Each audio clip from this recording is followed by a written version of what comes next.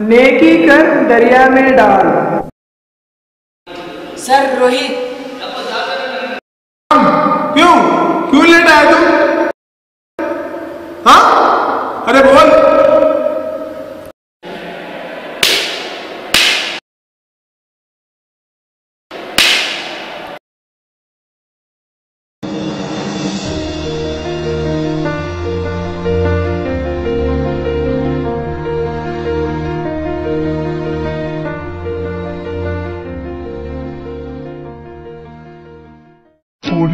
Young.